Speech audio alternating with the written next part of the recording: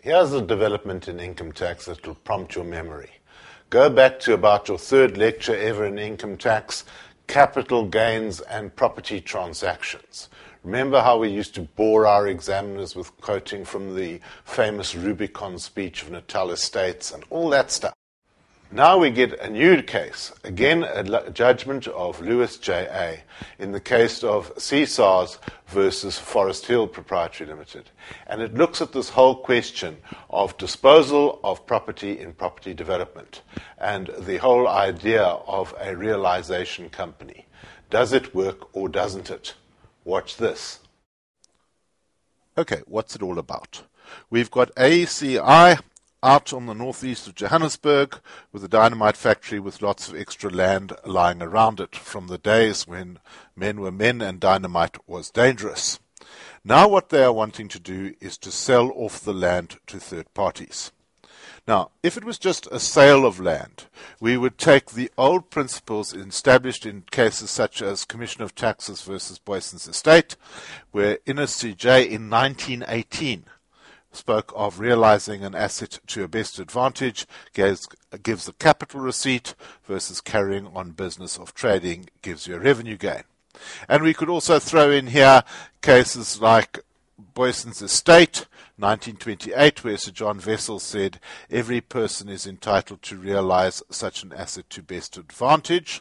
The fact that they are selling cannot alter what is an investment of capital into a trade or business for earning profits. So if it had been a straight sale of, of property, there would have been no problem. But the predicament is that if you put in developers into your land, then you hopefully will get a lot more for it. Nobody wants to buy plots without any services, roads, etc. But the moment that we start doing that, we start running into the area of the Natal Estates case, where we risk going beyond realization to best advantage and risk crossing the Rubicon where our land, which was formerly a ca- capital asset, becomes our stock in trade. That's the predicament. The solution that AECI found was in the realization company case of Berea West Estates. And what Berea West Estates settles is we take the company, we now form a subsidiary we call that Founders Hill, and that is your realization company. It's a wholly owned subsidiary. We then take the land and we transfer the land into the realization company. Then we put in our own money and skills as developers and we bring outside developers in as well. And the subsidiary sells off the land to the third party buyers. And what they were hoping here was that it would be accepted that the Berea West principle applies and that that will protect the capital gain because we're doing nothing but realizing off an asset to best advantage. Well, the Income Tax Special Court in Johannesburg agreed with the taxpayer. So it was taken on appeal to the Supreme Court of Appeal Judgment was given by Lewis J.A. on 10 May 2011. 5 0 judgment against the taxpayer in favor of SARS. So, what is that? What's the fundamental change? Well, Lewis comes back and said, look, the Income Tax Special Court, SARS and the taxpayer has got this thing completely wrong. It's not a question of whether we've gone straight off and crossed the Rubicon. There's an inquiry that comes before that it was incorrect to assume that the the assets were capital assets of Founders Hill in the first place.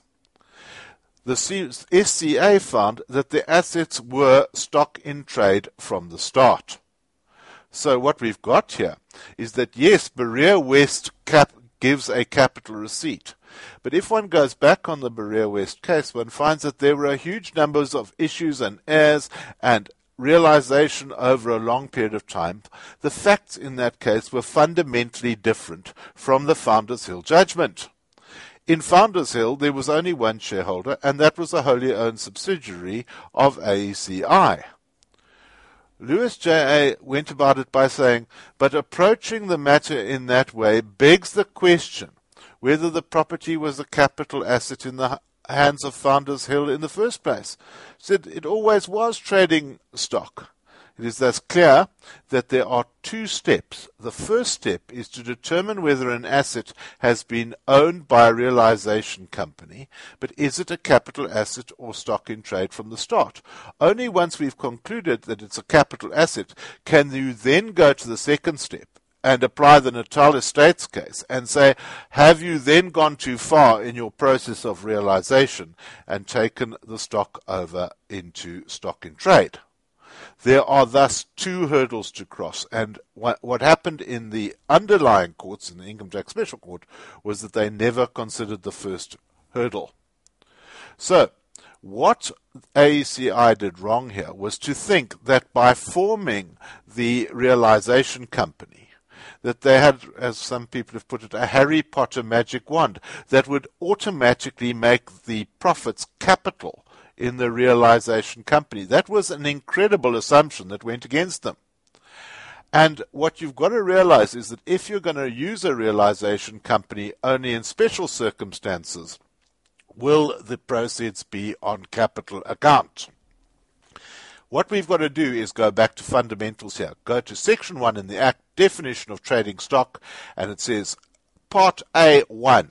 Anything produced, manufactured, constructed, assembled, purchased, or in any other manner acquired by the taxpayer for purpose of manufacture, sale, or exchange by the taxpayer or on behalf of the taxpayer. What else could that land have been in the hands of Founders Hill?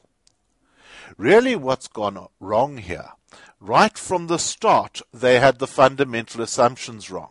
What they should have said is, right, owner forms realization company. Then you take the land and you transfer the land into the realization company. And the proceeds from the sale of that land into the realization company in the hands of the original owner is a capital gain. And that's fine. That has not been disturbed. Then the realization company continues and it brings in its developers and it throws in its money and it on sells to the third party at the end of the day. But the realization company in that case has got to say, I've sold trading stock here, so the proceeds from the sale will be revenue in nature. It is wrong to automatically assume that the realization company will receive capital income. That would only be in the most exceptional circumstances.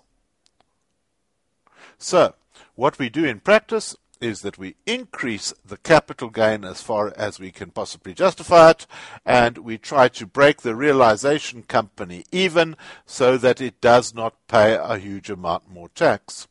One must also note that these cases that we've been discussing are very old cases. In the old days, the price was completely different. The capital gain to the original owner would have been taxed 0%, and the revenue gain would probably given rise to an exposure of 40%. Today we are looking at a far smaller arbitrage where the owner receiving a capital gain will only be taxed at 14%, whereas the realization company would be taxed at 28%. The stakes are completely different. Some say that Lewis J.A. took things too far and she should have left matters as they were. And they also say that the new judgment contradicts earlier findings in things like the Pick and Pay Employee Trust case. Well, I don't necessarily agree with that. I think Lewis J. Uh, a. has got it absolutely right in this case. We are looking at the disposal of trading stock, and that will always be a gain that is revenue in nature.